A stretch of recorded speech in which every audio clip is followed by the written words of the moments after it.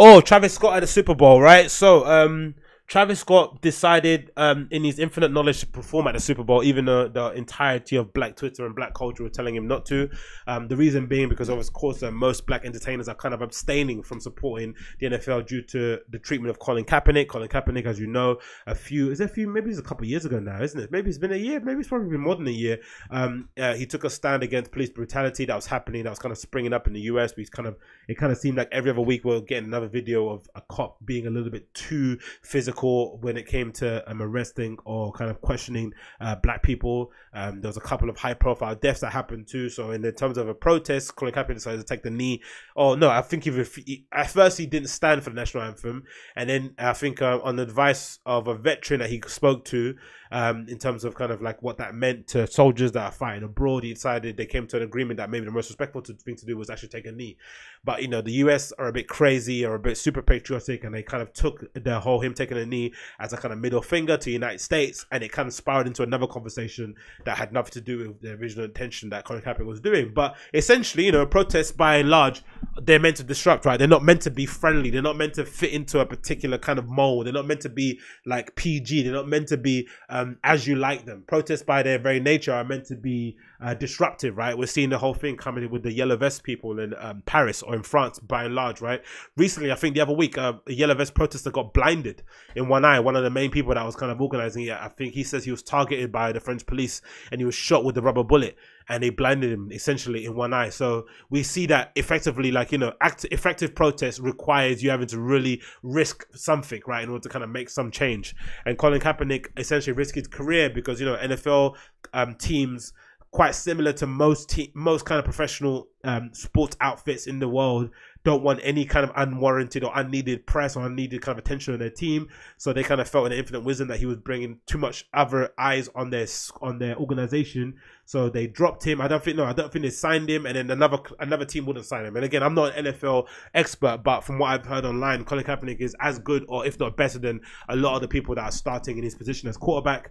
But he wasn't signed by another organization because they don't want to deal with the kind of blowback of having this person on their team and having the kind of you know Fox News people go crazy about it. So essentially, he got he's out of a job now because of the stand he took, and because of that, hip hop artists decided, you know what, we're not going to perform at your show because you know for the most part, the NFL is like maybe I don't know eighty percent black anyway. So um, a lot of the people that um, so it's quite synonymous with you know hip hop culture. A lot of people that are in hip hop support really some of the biggest NFL teams, but in order to kind of protest um, the fact that you know the NFL teams aren't signing. Um, Colin Kaepernick and the fact that Roger Goodell, the kind of you know the main spokesperson or the president of the NFL, isn't taking in yet or hasn't really said that much apart from a press conference the other day. Everyone kind of abstained from performing there, but Travis Scott decided to go go and do it right, which was a bit weird at the first. Right, I was like, what's this guy doing? But then if you listen to him in his interviews, you'd see that Travis Scott isn't the most politically aware person out there. I dare, dare I'll dare to say, which no, I'm not not mean to be rude or anything, but he's not the most you know he's not the sharpest tool in the box anywhere when it comes to that side of thing. And maybe by and large, you know, he's had a really great, he's had an amazing year. He's had probably one of his best albums to date. He's doing one of the best stage productions you probably see out there with his Astroworld tour. Uh, he's married a girl of his dreams. Um, he's got a kid. Um, he's kind of had one of the best years, like a couple of years in his life. So maybe he kind of wanted to really put uh, a period on it and really kind of cap it off by performing at, a, at the Super Bowl, halftime Super Bowl show. And maybe growing up, it was one of the biggest things to him. So even with all the kind of backlash that's happening on social media, he decided to do it anyway. And he read it out pretty well. I think he didn't really make any comment um, apart from towards the uh, when it was approaching. I think someone of his team leaked that he had spoken to Colin Kaepernick and they came to an agreement. And Colin Kaepernick said unequivocally, no, he didn't speak to me, which then, you know, obviously meant that Travis was maybe lying. We don't know what to, believe. But he read it out pretty well. He kind of didn't comment on it and he kind of just did the performance anyway and went. But considering the fact that his performance was pretty lackluster, I watched it and the sound wasn't good. They kind of fucked him up in that regard. It it didn't seem like it was worth all the hassle to perform at the NFL halftime show.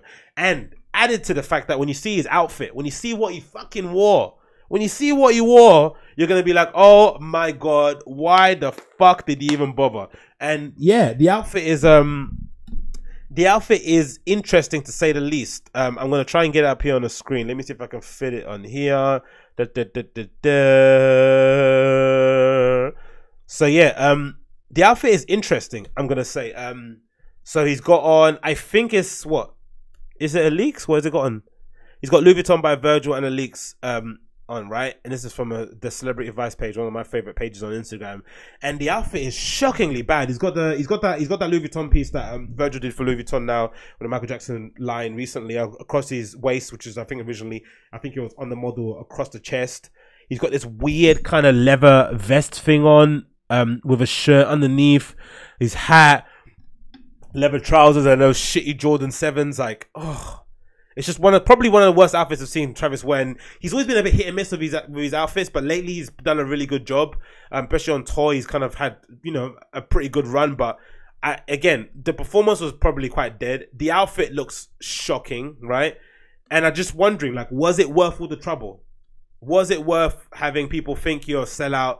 having people kind of question your integrity, having people think that you're selfish and self-centered, which I don't really agree with. I think everyone's got their, you know, their MO. Sometimes he probably just doesn't give a shit. You know, no one's really kicking up a fuss that Big Boi performed, right? No one really cares about that. So I don't know. It's just it's just weird to me. It's just weird to me. All that fuss to go to do the halftime show and you turn up wearing that kind of outfit and you turn up performing the way he did. Um, I just not I just don't understand personally. Um, you got a couple more pictures here uh, that kind of illustrate just how bad of an outfit it was overall. It just looks shocking. He's got like a, I think a football glove on. Um, it just doesn't look good. Simple as that. It just does not look good at all.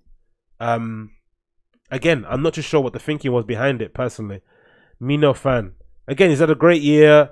But I just don't know whether it was worth all the trouble to kind of do this again, um, or to do this anyway in general, with everyone kind of saying what they were saying on social. But again, maybe you shouldn't care, right? Maybe it shouldn't you shouldn't bother what people are going to say.